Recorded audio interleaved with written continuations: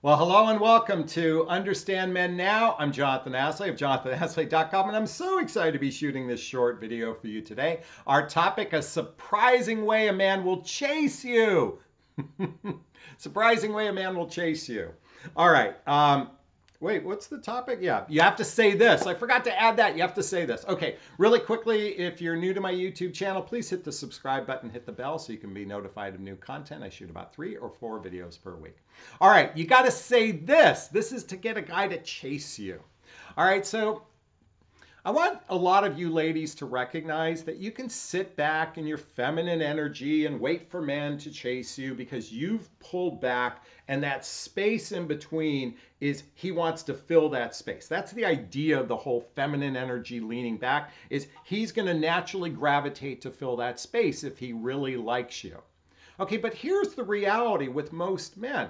Most men have been you know have childhood wounds and traumas or adult traumas that cause them to be fearful of love. And if they're chasing love, it's because there's a deficiency inside of them. There's a deficiency inside of them. And in addition, men are territorial. So men can chase you, you know, because we might treat you like property. There I spit.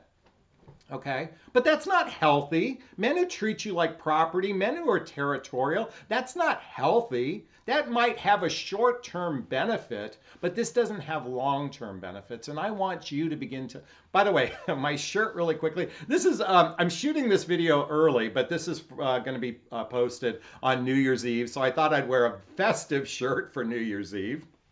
Okay.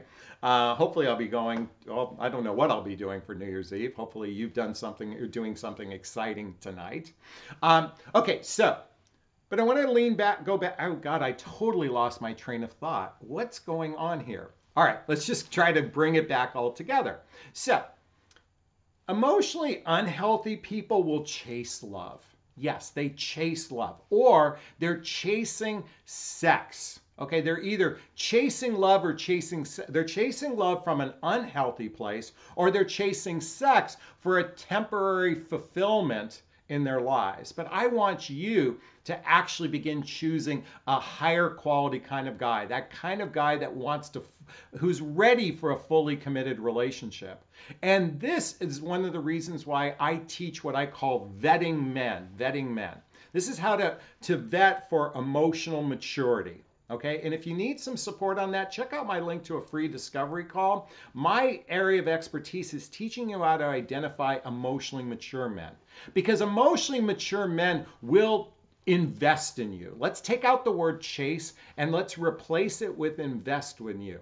And he's investing it with you, it's in a two lane street. So I want you to imagine you're driving a car and he's going to make an investment and he wants to see if you make an investment. And if you make an investment, he's going to make an investment. And that's how it looks when you're in a healthy, juicy relationship. And I want you to say this next thing to help him make an investment in you. And this is certainly for the early stages of dating. In fact, this is literally the first or second date kind of words to make a man make an investment in you. And I'll never forget, I had a first date with a woman. This is some years back. And somewhere in the middle of the evening, she said to me, If you asked me out on a second date, I would say yes. I'm like, Wow, that was kind of interesting, and I, am sure she heard that from someone else. I mean, it, it felt a little contrived. Um, well, later, as I reflected upon it, it felt contrived only because I'm a dating and relationship coach. I analyze everything. This is one of the reasons why I'm probably still single, is I analyze everything. I've got to get out of my own head. My head is my problem, okay? For those wondering why am I still single, it's this. I can, I'm great at dishing out advice, but sometimes I have a hard time hearing my own advice. But what I loved and what she said was she gave me a green light. She dropped the hanky. She gave me an invitation to move forward. And I want to take this to the next level. I want you to take this to the next level. And I want you to adopt uh, some new language when you're communicating with men who you want to make an investment in. Okay? So you've gone on one, two, or three dates he seems to be pursuing you. And I want you to throw in this question or this statement. And it goes something like this I would be open to exploring a relationship with you.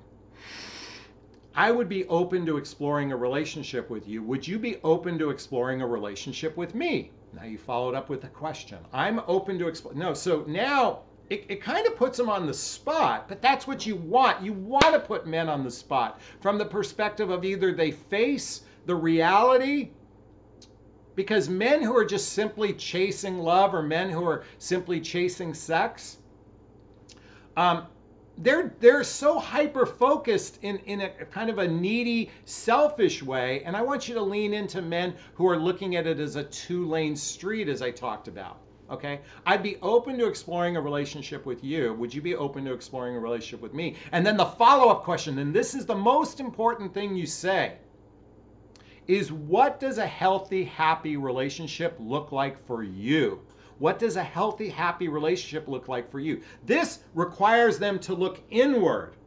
This is one of the reasons why I'm such a big proponent of self love because people can't look inward, aren't loving on themselves. If a person can't love on themselves, it's going to make it very difficult for them to explore a healthy, juicy, delicious relationship with you. This is why I always recommend my book, What the Heck is Self Love Anyway? I talk about this often, often, often. There's a link below to get my book. Okay? I want you to start choosing those men who are going to lean into it. What's a healthy relationship look like for you? And ladies, if you need some support on understanding what they look like, I talk about this in almost every one of my videos. Check out the book Eight Dates by Dr. John Got John and Julie Gottman. This teaches you what a healthy, happy relationship looks like. Because you've got to say this before because he ain't going to commit if he doesn't know what a healthy, happy relationship looks like. And most men are effing clueless.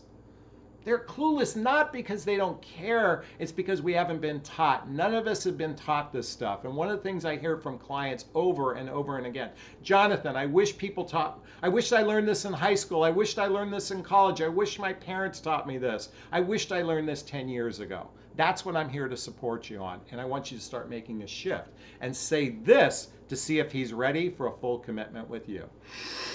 Ah, Okay, if you have a thought, question or have any comments, please post it below. I do my best to read all of them, and I'm going to wrap up this video as I always do for my New Year's Eve shirt.